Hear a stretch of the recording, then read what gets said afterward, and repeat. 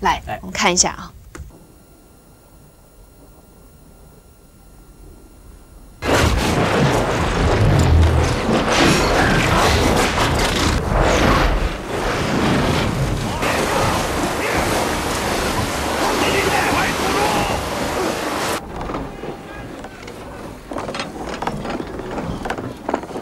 干活仔细点，威廉。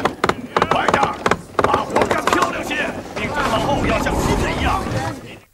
我们前面说到了那个 CQD 啊，本身没什么含义。对那么 SOS 呢，给人的一个印象比较深，因为这个字母可能排列起来，呃，可能有一些遐想。对哎、很多人在猜测它的含义具体是指什么。我们比如说 UFO 啊，不明飞行物啊，它是缩写。那么 SOS 的含义具体是什么呢？广告之后我们接着回来说。不是所有等离子都是高清电视。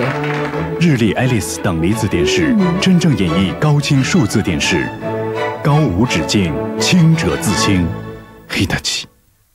夏天喝冰凉的露露，清新润肺，去烦躁，心情好。野生杏仁植物蛋白，独特营养，让家人更健康，每天要喝露露哦。给健康添活力。秀才、美女、青梅煮酒，论尽天下英儿雄。汤姆汉克斯、萨马兰奇先生，亚当斯密，才子、佳人，笑谈古今中外事。就有了甲壳虫乐队哦。灵机一动，拿起画笔，一下就勾勒出一个可爱的过描述。翻阅日历，不亦乐乎。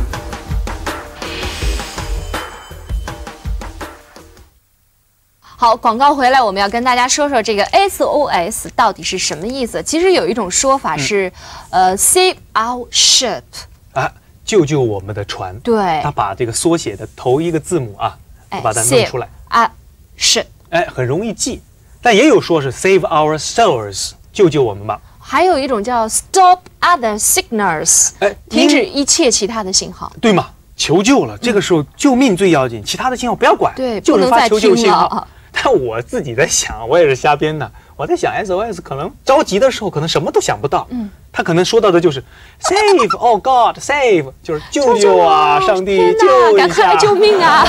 它到底是什么呢？我们我们说来说去，还是要看一下这个图表。实际上，它跟 CQD 是一样的，嗯它没有任何其他的含义，只是它比较好辨认，而且一目了然。嗯其实直到现在，没有任何一个人说它有什么含义，哎所以就一直用下来了。嗯，那我们来看一下这个 SOS 都在国际上有哪些作用。嗯同时，我觉得它在各个国家被停用的时间也是不一样的啊。嗯它在一百年的过程当中，在上万起的灾难里，可以说是帮助了无数的人获得了重生啊，应该说是救了很多人。嗯但是呢，随着这个通信技术的不断发展，人们已经感觉到用电报机来求救很落伍了。对，现在我们有更先进的手段有了。卫星，对，卫星你不用发求救信号，它那一看就知道那着火了。卫。星定位，我上次嗯。听一出租车司机朋友说就是在现在抢劫出租车很厉害的时候，他们开到一个地方，如果发现不对，在方向盘的左下手有一个按钮。按钮五秒钟之后，啊。马上就可以判定你在哪个方位，这个悬殊不会超过两米。哦嗯，现在我们看车上很多那个全球定位系统，就是电子地图啊，对也估计也是跟卫星有关的。是很方便。所以呢，在法国一九九七年就开始停用 SOS 了。一九九七年，当法国海军停用这个标志的时候，发出的最后一条消息是：所有人注意，这是我们在永远沉寂之前的最后一声呐喊。我发现法法国人特别浪漫浪，。像诗歌一样对。就即便是这样一个公式化的东西，它也是弄成一个诗一样的语言。哎，英国也很有意思嗯，英国是一九九八年的一月一号开始停止使用 SOS 求救信号的，但是巧合的是，在九七年的最后一天，十二月三十一号。嗯英国海岸救助总队的无线电监听站呢，收到了一个 SOS 的求救信号。当时他们就怀疑，说明天就停用了，今天很有可能是别人给我们开一个玩笑，发过来试试看的。实际上呢，其实这是一艘从加拿大前往英国利物浦的货轮，船上一共有二十六位船员。这艘船呢遇到了风暴，船上的发电发动机啊停止了所有的运行。哦这时候万般无奈之下，发出了 SOS 信号。好在啊，这个英国的海岸救助总队只是怀疑，脑子想了一下，有可能是玩笑，但是他们还是很认真那的去毕竟是。到第二天才停止使用嘛，，所以哎这一次又发挥了很大的功效，又救了整个船上的人。我在想啊、嗯 s o s 已经成为了一个当一个人需要求救的时候。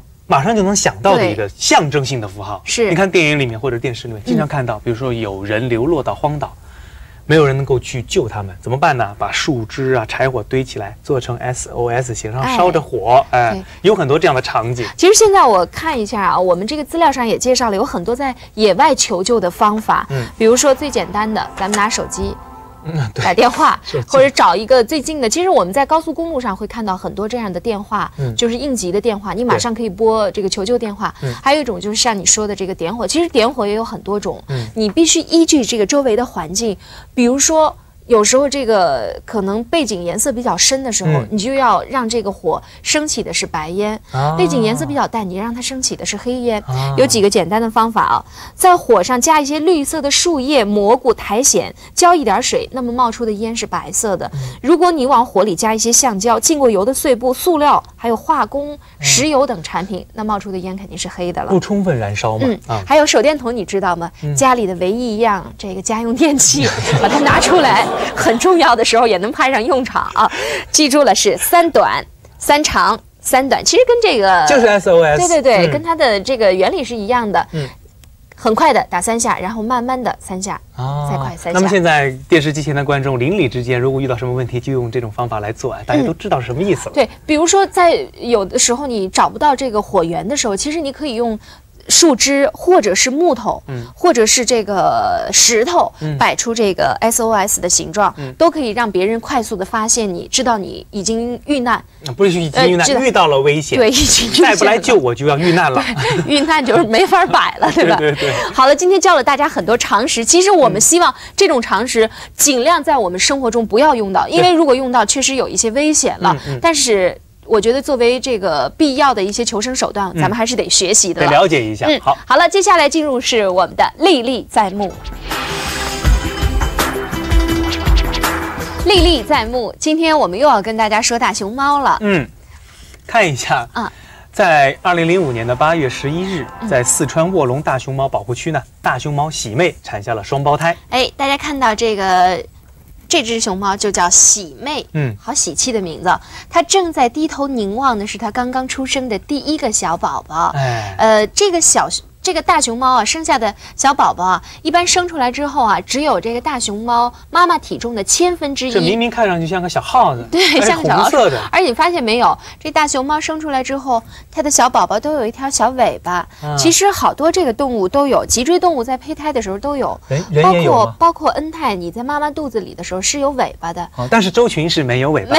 有，我们都有尾巴，但是长出来之后这尾巴就没有了。啊生出来之后就它也一样，它慢慢长大之后这尾巴就消失了。嗯，嗯，熊猫一般呢都生双胞胎，嗯但是呢，因为这个熊猫在野外生存的时候非常担心这个弱肉强食嘛，一般都会把体弱的那一只给遗弃掉。它才不是担心弱肉强食呢，它自己就在弱肉强食。你看，就适者生存，它它遗弃那个虚弱的那一只。但是现在啊，由于是人工繁殖大熊猫比较多，所以基本上都都愿意把它都保存下来。对没错原来以露在野外，可能嗯就就死掉了。现在呢，我们的工作人员会把它都好好的保护起来。嗯，现在放在这个呃温室里的这个暖箱里的就是它的老二，啊、呃，就是它准备扔掉的那一个。它不，这个喜妹是呃是这样一回事儿，他生下老二，他自己不知道，嗯，掉在地掉在上地的时候，他也不知道自己生下第二个。不不不，他知道自己生下来，只是他抱的时候，因为他那体积太小，他抱的途中孩子哦掉下去，他不知道。但是工作人员很着急，嗯怕这个第二个宝宝会出现什么意外，就赶紧把它拿起来放在暖棚里面。嗯，对这个，大家看到工作人员很细心的在照顾，其实也就手掌这么大的一个大熊猫。说实话，你要让我告诉别人这只大熊猫，我自个儿都不相信。这个工作人员简直就把这个小熊猫啊当做一个宝。放在手里怕摔了，放在嘴里怕化了。放在温室里，放在暖箱里是最牢靠的事儿。对对对其实大熊猫挺计划生育的，它一般都只要一个。但是我觉得这种方式挺残忍的啊把孩子就是自己亲生的孩子直接就给遗弃了。好在现在我们都人工繁殖了，不用担心了。我们也希望两只可爱的熊猫宝宝茁壮成长。好了，我们今天的节目到这儿就结束了，再次感谢各位的收看。再见。哎呀，小熊猫。